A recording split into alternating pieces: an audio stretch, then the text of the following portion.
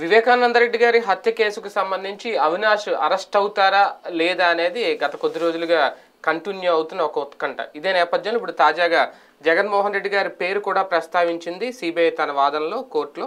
ఈ నేపథ్యంలో సిబిఐ ఎంతవరకు జగన్మోహన్ రెడ్డి గారిని విచారించే అవకాశం ఉంటుంది ఉంటే కనుక దాని మీద ఎటువంటి రాజకీయాలు మళ్ళీ కొత్త రాజకీయాలు మొదలవుతాయి. ఈ మధ్యకాలంలో ఒక నాలుగైదు రోజుల క్రితం అనుకుంటా కేఏ పాల్ గారు డైరెక్ట్గా వెళ్ళి అవినాష్ రెడ్డితో మాట్లాడి హాస్పిటల్లో తర్వాత ఆయన బయటకు వచ్చి మాట్లాడిన మాటలు విమలారెడ్డి గారు కూడా ఇంతవరకు ఈ కేసు వ్యవహారంలో ఫస్ట్ టైం అంటే కుటుంబ సభ్యులు కూడా ఒక్కొక్కరుగా బయటకు వచ్చి మాట్లాడుతున్నారు. ఎందుకంటే ఇది రాజకీయ వివాదమా కుటుంబ వివాదమా మడ్ర వెనక రాజకీయ కోణం ఉందా లేదంటే కుటుంబ కక్షలు కార్పణ్యాలు ఉన్నాయా అనే కోణం కూడా ఇప్పుడు కొత్తగా వెళ్ళలోకి వస్తుంది. వీటన్నిటి మీద చర్చించే ప్రయత్నం చేద్దాం.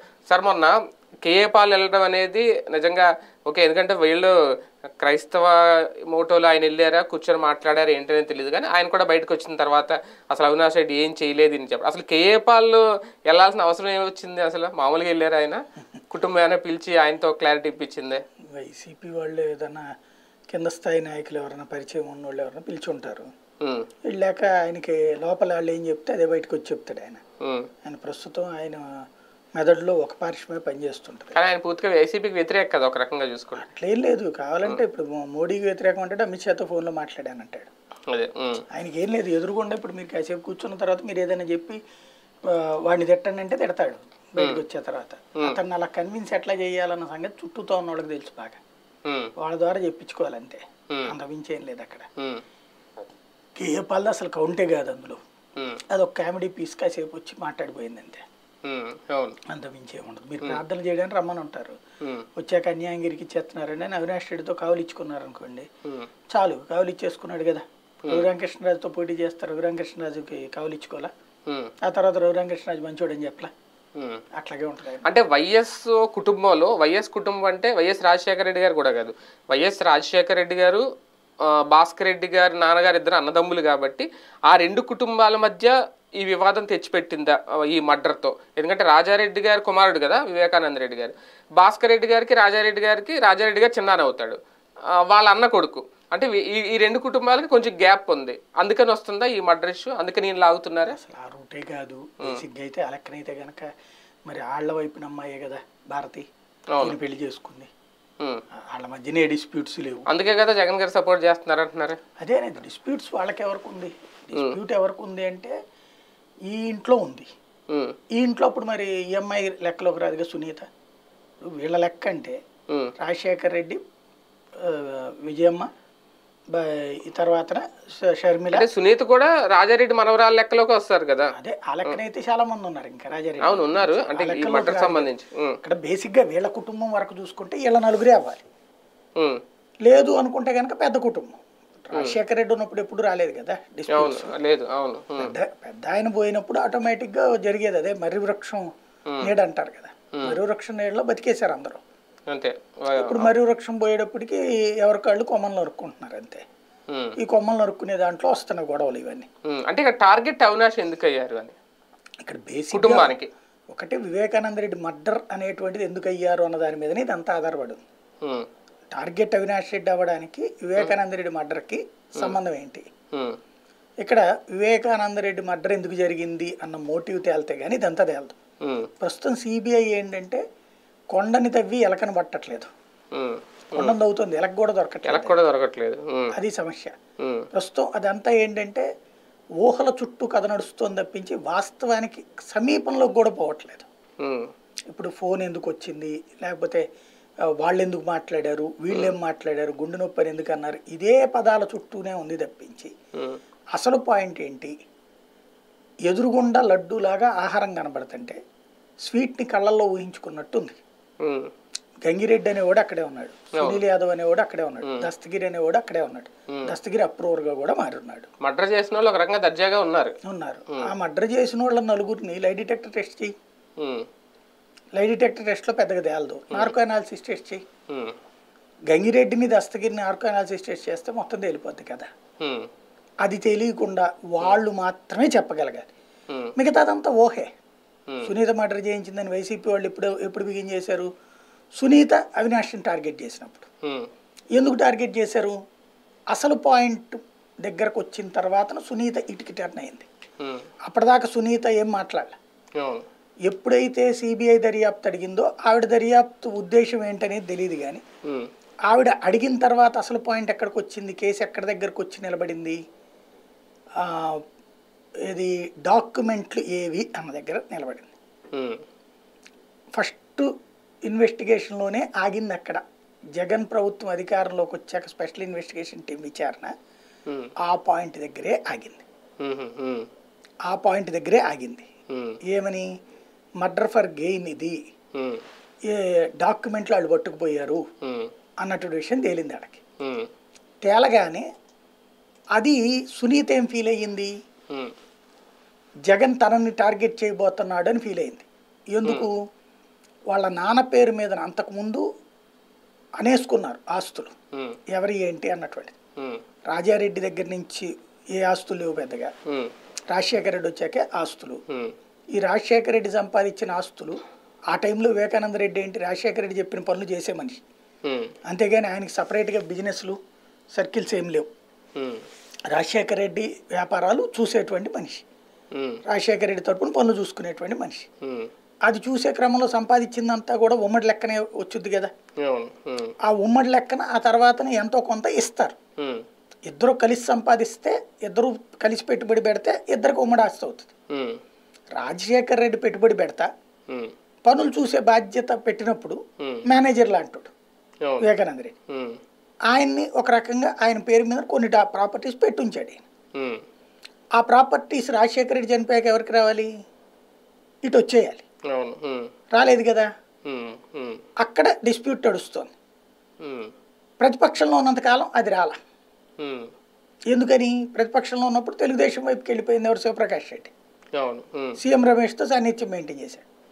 తద్వారా ఆ ప్రాపర్టీ వీళ్ళకి పోనీయకుండా కాపాడుకో అడ్డుపడతా వచ్చాడు శివప్రకాష్ రెడ్డి. సునీతను వీళ్ళ దగ్గర మొత్తం అడ్డుపడతా వచ్చారు. ఎప్పుడైతే జగన్ సీఎం అవుతుంటే అంటే అప్పటికి సీఎం అవుతాడని కాదు కదా మాట జరిగి. సీఎం అయ్యాడంటే కనుక ఇక ఆ ప్రాపర్టీ వెనక్కి వెళ్ళిపోవాల్సింది. కాబట్టి ఇక్కడ వీళ్ళు అనేది ఏంటి?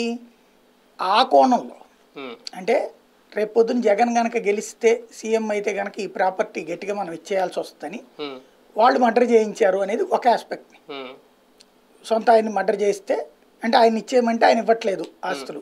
ఇదే వీళ్ళ పేరుని రాసేయమంటే రాసేయట్లేదు అందరి పేరు మీదనే ఉంది మనం నలుగురిది కూడా. అది కూడా ప్లస్ నా కొడుక్కి రాస్తాను నా ఆస్తి అంతా మీకేం రాయని అంటున్నాడు. మిగతాది వాళ్ళకి ఇచ్చేస్తానంటున్నాడు ఉమ్, అన్నటువంటి ఏదో దాదాపుగా ఐదు వందల ఎకరాల ల్యాండ్కి సంబంధించిన డిస్ప్యూట్ చాలా సీరియస్గా నడిచింది. అది వెనక్కి ఇచ్చేయాల్సి ఉంటే అది ఇవ్వకుండా ఆపారు అక్కడ అన్నటువంటి. అది ఒక ఆస్పెక్ట్.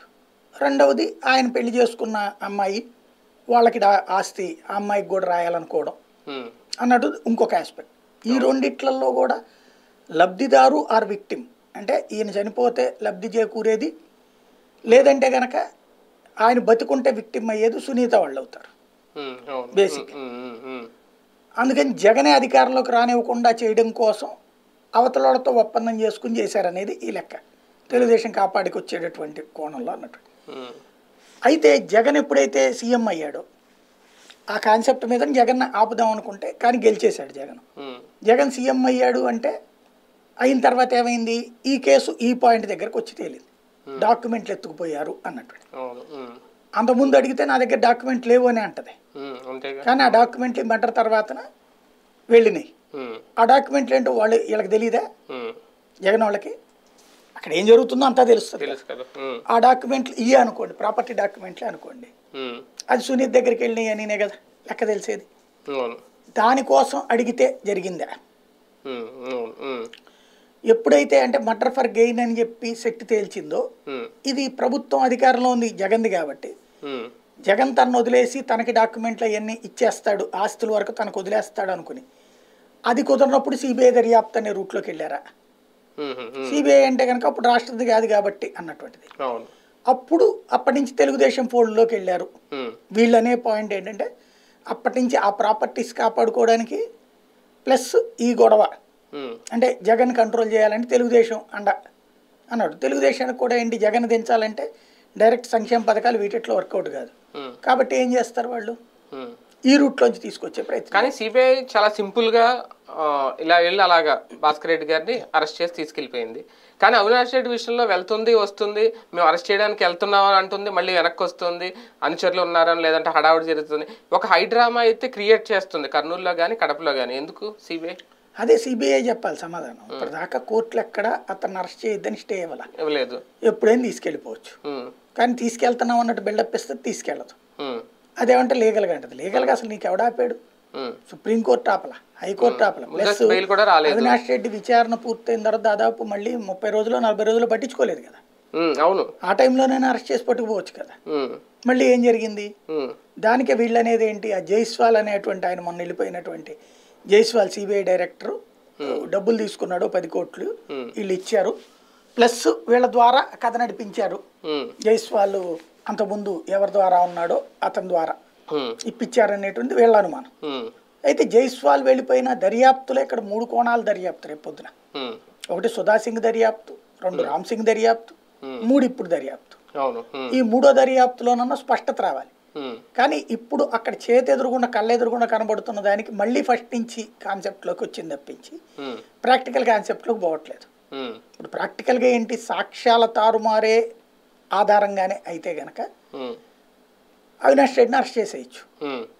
లేదు అంటే మర్డర్కి మోటివ్ని తేల్చాలి. మోటివ్ ఏంటంటే పేపర్లు. ఆ పేపర్లు ఏంటి? అది రెండు కోణాలు అయింది ఇప్పుడు. ఇంతవరకు ఒక్క కోణమే కనబడింది పేపర్లు. వైసీపీ వాళ్ళు ప్రొజెక్ట్ చేసింది ఏంటి? సునీత డాక్యుమెంట్ తెప్పించుకుంది.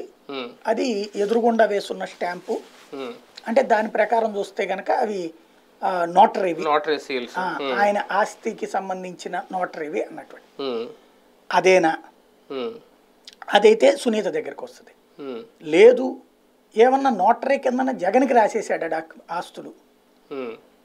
ఆయన. ఎందుకంటే అమ్మాయి వాళ్ళు ఇప్పే ఇవ్వనీయకపోతుంటే. జగన్కి రాసేస్తే ఆ డాక్యుమెంట్లు తెప్పించారా? లేదా అప్పుడు జగన్కి వెళ్ళాలి ఆ డా- ఆస్తి? అప్పుడు ఈఎంఐకి వెళ్ళకూడదు. ఈఎంఐ వాళ్ళు చేసుకుంది కదా. ఎట్ట కుదురుద్ది అప్పుడు అదే కదా అవును ఉమ్, ఇది ఈ రెండిట్లో ఏంటనేది తేల్చాలి. ఉమ్, మోటివ్ తేలకుండా మర్డర్ ఏంటనేటువంటిది. ఈ లోపు ఇవన్నీ కూడా పై పైన వ్యవహారం. అంటే హై ప్రొఫైల్ కేసు కాబట్టి రోజు వార్తల్లోకి వస్తుంది చర్చలోకి వస్తుంది. వీళ్ళు రాజకీయంగా ఇరకాటంలో పడతారు ఇరుక్కుంటారు. ఏడుస్తుంటారు బాధపడిపోతుంటారు అవతల మీద రాళ్ళు వేస్తుంటారు Hmm. వాళ్ళు వీళ్ళ మీద రాళ్ళు వేస్తారు ఇవన్నీ నడుస్తుంది ప్రాక్టికల్గా జరగాల్సిన పాయింట్ అయితే ఇది. కానీ ఇలా అరెస్ట్ చేయకుండా నాంచడం వల్ల కూడా అవినాష్ రెడ్డి రోజు రోజుకి భయపడుతున్నారు. ఒకవేళ అరెస్ట్ చేసేస్తే అరెస్ట్ అయిపోయిన తర్వాత ఆయన బెయిల్ తెచ్చేసుకుని బయటకు వచ్చేస్తారని కూడా ఏమన్నా ఆలోచిస్తుందా సిబిఐ అరెస్ట్ చేయకుండా? మేబీ మైండ్ గేమ్ నడుపుతోంది. అంటే తను ఇప్పుడు సాధారణంగా ఏంటంటే వీక్ టార్గెట్ అంటారు దర్యాప్తు సంస్థలు. ఒక వ్యక్తి ఎవరైతే అవతల ఉన్న బృందంలో బాగా చూస్తారు. ఎవరి మనస్తత్వం వీక్గా ఉంటుంది. మనం గట్టిగా దబాయిస్తే బెదిరేస్తే. భయపడతాడు. భయపడిపోయి మొత్తం చెప్పేస్తాడు అనేది. ఆ. వీక్ టార్గెట్గా అవినాష్ని ఊహించి ఉండొచ్చు అసలు ఏం సౌమ్యుడు అంట. పెద్దగా ఏం కాబట్టి ఆ. పాయింట్ మీద ఇతన్ని టచ్ చేయడం కోసం అని చెప్పేసి ఇతను ముందు అరెస్ట్ చేస్తున్నామనే ఫీలింగ్ కల్పించి చేయకుండా చేస్తున్నాడు చేస్తున్నాడు చేయట్లేదు చేయట్లేదు. ఈ భయంతో ఉన్నప్పుడు చివరికి ఒకనొక దశకు వచ్చాక విరక్తత చెయ్యి ఏదో చెప్పు. తీసుకుపో నువ్వు అని చెప్పే స్టేజ్కి వెక్సేషన్ తీసుకురావడం కోసం గేమ్ ఆడుతున్నారా అన్నది ఇక్కడ డౌట్ అప్పుడు అవును నేను ఆ రోజునే చేశాను. ఏదో చూశాను. నాకు ముందే తెలుసు. వాళ్ళు చెప్పారు మాట చేశామని. అప్పుడు మా అన్నకు కూడా చెప్పాను. ఇట్లా చెప్పేస్తాడా? లేదా వీళ్ళు రాసిన డాక్యుమెంట్ మీద సంతకం పెట్టేస్తాడా? ఆ విషయాన్ని అవినాష్ రెడ్డి కనిపెట్టి చివరిలో ఏమన్నా కథ ఇది వాళ్ళు విచారించడం కంటే కూడా తను అరెస్ట్ అయితే కనుక ఆ తర్వాత విచారణ ఒకసారికి మించి చేయలేరు. ఎక్కువ రోజులు చేసేది ఏమి ఉండదు కాబట్టి ఇక అప్పుడు కోర్టులోనే తేల్చుకోవచ్చు. కోర్టులో అయితే కేసు కొట్టేస్తుందని ఆయనకి సలహా ఇస్తే ఇట్లా అడ్డం తిరిగాడు. ఎందుకంటే మొదటంతా అడ్డం తిరగని మనిషి చివరిలో అడ్డం తిరిగాడు. జనాలను అడ్డం పెట్టాడు. అంతకుముందు ఎన్నిసార్లు పిలిచినా వెళ్ళొచ్చాడు కదా కూలుగా వెళ్ళొచ్చాడు. ఇంకా కవితే పిలిస్తే రచ్చరచ్చ చేసేడు. అవునవును. ఈయన అసలు ఏం చేయకుండా కూలుగా వెళ్ళొచ్చాడు. ఇప్పుడు రచ్చరచ్చ చేస్తున్నాడు. అంటే అందుకోసం అనేది డౌట్. జగన్ పేరు ప్రస్తావించడం వెనక కూడా సిబిఐ ఏమన్నా మైండ్ గేమ్ ఉందా? లేదంటే తన అనుమానాన్ని మాత్రమే కోర్టులో కోర్టు ముందు ఉంచిందా? రెండు ఉంది. ఇక్కడ ఎప్పుడైతే జగన్ పేరు అన్నప్పుడు కోర్టు ఇతన్ని అడ్డుకోదు. ఇతని విచారణకి. ఉట్టి ఎంతవరకు అయితే గనక ఆధారాలను అడుగుతుంది నిన్న. ఉమ్, జగన్ పేరు తీసుకొచ్చినప్పుడు ఓహో ఇంకా పైన విచారించాలనుకుంటా సీఎం వీళ్ళందరిది కూడా. అనుకున్నప్పుడు ఇతను కనుక బయటకు వదిలిపెడితే ప్రమాదం అని చెప్పి చేయొచ్చు కదా. అవును. ఓ రాయి. అంటే జగన్మోహన్ రెడ్డి గారికి ముందే తెలుసు అని అదొక్కటే అనుమానంతోనే జగన్మోహన్ రెడ్డి గారిని విచారించాలనుకుంటారు సిబిఐ. ఇంకా వేరైనా ఆధారాలు ఏమన్నా అవినాష్ రెడ్డి ద్వారా సేకరించిన తర్వాత విచారణ పిలుస్తారా? అంటే ప్రస్తుతానికి ఏంటంటే అడిగి తెలుసుకునే పనిలో ఉంది. తెలిసిన ఆధారాలతో అడగట్లా. అడిగి తెలుసుకునే పనిలో ఉంది. ఇప్పుడు సాధారణంగా ఎట్లుంటుందంటే మీరు ఆ మధ్యన ఒక ఫ్రెండ్ వాళ్ళ బంధువు ఒకళ్ళు సూసైడ్ చేసుకున్నాడు. చేసుకునే ముందు అమ్మాయి చాలా మందికి ఫోన్లు చేసి మాట్లాడింది. ఎట్లా ఎట్లా బాధపడ్డారన్న ఉమ్, అందరికీ పిలిచారు. అందరిని అడిగారు. ఒకళ్ళతో ఫ్రెండ్లీగా మాట్లాడింది సరదాగా. ఒకళ్ళతో మా అత్తగారు వాళ్ళు ఎట్లా ఏడిపిస్తారని చెప్పింది. ఒకళ్ళకి మా ఆయన సమర్థుడు కాదు మా అత్తగారు వాళ్ళ నుంచి నన్ను కాపాడ్డని చెప్పింది. ఇట్లా రకరకాలు చెప్పింది. ఫైనల్గా వచ్చేటప్పుడు కేసు అట్లా వెళ్ళిపోయింది. వాళ్ళందరినీ పిలుస్తారు. ఇప్పుడు అట్లాగా. Hmm. ఇతనైనా సరే. నీకు చెప్పారా? చెప్పినప్పుడు నువ్వు ఎందుకు చెప్పలేదు బయటికి? తను ఈ కోణంలో నుంచి ఉంటుంది. అంటే పొలిటికల్గా ఏదన్నా వద్దని చెప్పి ఉమ్, ముందే తెలిసి. అది. అంటే అజయ్ కళ్యాణ్ దగ్గరికి వెళ్ళినప్పుడే అర్థమైపోయిందా? జగన్మోహన్ రెడ్డి గారిని విచారించడానికి మొత్తం సిబిఐ అంతా రెడీ చేసుకుంటుందని? కృష్ణమోహన్ రెడ్డి అప్పుడే తెలిసి ఉండాలి. ఫస్ట్ కృష్ణమోహన్ రెడ్డిని పిలిచారు కదా కృష్ణమోహన్ పాటు. ఇంకొకటి భారతి గారి తరపున పిఏ ఎవరినో కూడా ఇద్దరిని పిలిచారు. అప్పుడే నెక్స్ట్ వీళ్ళ దగ్గరకు వస్తుంది. ఎందుకంటే వాళ్ళ పిఏలు కాదు కదా వినేది. వాళ్ళు పిఏ ఫోన్ ఇస్తారు. అంతే వినేది ఎవరు? మాట్లాడేది ఎవరు? వీళ్ళు అప్పుడు ఎవరు ఫోన్ చేశారు అన్నది మాత్రం వీళ్ళు చెప్తారు. అంతే. అంతే కదా. ఏం మాట్లాడారు అనేది వీళ్ళు చెప్పలేరు తెలియదు కదా? కాబట్టి అప్పుడు ఆరున్నర లోపు వాళ్ళు మాట్లాడారా? ఆరున్నర లోపు అవినాష్ రెడ్డి చేసి ఉండొచ్చును. చేశాడని చెప్పుండొచ్చును. అప్పుడు అవినాష్ నీకు ఆ టైంలో ఏ కారణం మీద ఫోన్ చేశాడని చెప్పాల్సింది ఎవరు? జగన్మోహన్ రెడ్డి కదా. ఏం కారణం మీద చేశాడు అన్నటువంటిది. అది అడగచ్చును ఉమ్. అలాంటి ఆయనకన్నా ముందు ఉమ్మారెడ్డి వెంకటేశ్వరం కూడా పిలుస్తారా పిలవాలా? మాట్లాడేశారేమో ఇప్పుడు. ఎందుకంటే ఇది అజయ్ కల్లాంది కూడా బయటికి చెప్పలేదు కదా. తర్వాత ఆయన వచ్చి బయటకు వచ్చేదాకా తెలియలే. జ్యోతి రాశాక ఆయన బయటకు వచ్చి చెప్పేదాకా. అవును తర్వాత. అట్లా కృష్ణమోహన్ రెడ్డిది అందులో ఆ రోజున ఉన్నది నలుగురు అన్నే కదా. ఉమ్, ఉమారెడ్డి అజయ్ కల్లాము కృష్ణమోహన్ రెడ్డి ప్లస్ ఈయన. కాబట్టి ఉమారెడ్డిని కూడా అడిగేశారేమో. అది తేలాలి జగన్మోహన్ రెడ్డి గారికి ఇప్పుడు ఇది ఒక కొత్త టెన్షన్ స్టార్ట్ అయిందా? లేదంటే ఆయన కూడా ప్రిపేర్డ్గా ఉన్నారా? ఈ విచారణకు నేను కూడా వెళ్ళాల్సి ఉంటుంది అని. ప్రిపేర్డ్గా ఉన్నట్టు కనిపించలేదు చూస్తే ఎందుకంటే లేకపోతే ప్రిపేర్డ్గా ఉంటే ముందే ఎదురు ఎవిడెన్స్లో లేకపోతే ఎదుటి మైండ్ గేమ్ నడిపేవాళ్ళు కదా.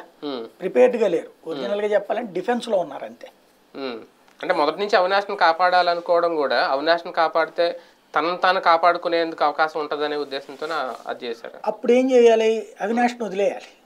అతను తనను తాను దర్యాప్తు చేయించుకుని తేల్చుకుని రావాలని వదిలేయాలి. తనను తాను కాపాడుకోవాలంటే. అవినాష్ రెడ్డిని కాపాడడం అంటే తను తప్పు చేయలేదనే ఫీలింగ్లో ఉన్నాడు. అవినాష్ రెడ్డిని తో ఆపేసేయాలనుకుంటే అంటే తన దగ్గరికి రానివ్వకుండా దాటిన తర్వాత ఈయన దాకా వస్తుందేమో కదా? ముందు ఆయన అరెస్ట్ అయిపోయిన తర్వాత ఎందుకు వస్తుంది? అక్కడ సునీత వాళ్ళు చెప్తుంది ఏంటి అవినాష్ రెడ్డి మర్డర్ చేశాడు. చేయించాడు. ఎందుకు? తన సీటు కోసం. అంతే కదా ఇప్పుడు వాళ్ళు ఉమ్, దానికి జగన్కి ఏం సంబంధం ఉంటుంది అప్పుడు? తను వదిలిచ్చేసుకుంటే జగను. అవినాష్ రెడ్డి దగ్గర కథ ఆగిపోయేదిగా. అంటే ఆయన లేకపోతే నీకు సీట్ ఇస్తాననే కుట్ర అనే జరిగింది. అదే అది ఆ మొక్కనే ఆయన లేకపోతే ఎందుకు చెబుతాడు? అదే. సీట్ ఆయన సీట్ ఇవ్వడం కుదరదంటే ఈయన వెళ్ళానా మర్డర్ ప్లాన్ చేశారా? ఆ మొక్కకు కూడా అప్పుడు జగన్ తప్పు అవుదుగా ఉమ్. ఆయన ఉండగా నీకు ఎట్లా ఇస్తామంటే అలా చెప్పడమే తప్పు అవుతుందేమో కదా. ఎందుకు అవుతుంది. టికెట్ ఆయన ఉన్నాడు కదా ఆయనకే ఇస్తానని చెప్పాలి. అంటే మర్డర్ చేసి రాని కాదు కదా. ప్రాక్టికల్గా అయితే. ఉమ్. అంటే అటువంటిది ఏమన్నా అవినాష్ నోటు విన్న తర్వాత జగన్ దాకా వెళ్తారా అంటున్నాను నేను. అదే అనేది అసలు బేసిక్గా అవినాష్ రెడ్డి పాయింట్ అన్న దగ్గరనైతే కనుక జగన్ దగ్గరికి వెళ్ళకూడదు. అసలు ఏం అంటే జగన్ గురించి అవినాష్ దగ్గర ఆగట్లేదా కేసు? నేను అడిగా డైరెక్ట్గా. జగన్ గురించి కేసు అవినాష్ దగ్గర ఆగట్లేదా? అవినాష్ రెడ్డి మాట్లాడిన పాయింట్ కూడా కాదు. ఇప్పుడు వీళ్ళు ఎతుకుతున్నటువంటి పాయింట్ ఏంటంటే విచారణ అంటే ఫోను దగ్గరనే నడుస్తోంది. గుండె నొప్పి వీటి చుట్టూతోనే తిరుగుతోంది ఇక్కడ. అది అయిపోయిందేమో కదా గుండె నొప్పి ఇప్పుడు దాని మీదనే కదా అవినాష్ రెడ్డిని విచారించాలంటే గుండె నొప్పి గురించి నువ్వు గుండె నొప్పి అని ఎందుకు అన్నావు. ఎవరు చెప్పారు నీకు? ఇదే. ఎవరు చెప్పమన్నారు ఎవరు చెప్పమన్నారు. అవినాష్ రెడ్డి జగన్కి అదే మొక్క చెప్పాడు. జగన్ ఆ మొక్క స్టేట్మెంట్ ఇచ్చాడు. ఇది విజయసాయి రెడ్డి. కాబట్టి పాయింట్ అక్కడే ఆగిపోయిందిగా. ఇప్పుడు విచారించేది ఆ కోణంలో అయితే కేసుకు వేస్ట్ అది. కేసుకి సిబిఐ చెప్పాల్సిన పాయింట్ ఏంటంటే ఏంటి జగన్కు ఉన్న సంబంధం ఏంటి అవినాష్కి ఏంటి సంబంధం? అది ఇవాళ ఏమన్నా వాదనలో చెప్పాలి. కానీ ఏదో జరగబోతుంది అనే ఒక సంకేతం అయితే వస్తుందా? జగన్ అయితే నుంచి? ప్రశ్నించడం ఖాయం. ఇప్పుడు దాన్ని బట్టి. ఉమ్, అవినాష్ని అరెస్ట్ చేయడం కూడా ఖాయమే అవినాష్ రెడ్డి అరెస్ట్ చేయడం ఖాయమే. ఎందుకంటే ఇప్పుడు అతను మొన్ననే అనుకున్నాం కదా బ్యాక్ బెంచ్ బాయ్స్ లాంటి వాళ్ళు ఇష్యూ ఒకసారి నెగిటివ్గా జనంలోకి ప్రొజెక్ట్ అయిందంటే దాన్ని కంట్రోల్ చేసుకోవడం కష్టం. అవును. ఇప్పుడు అదే నడుస్తుంది.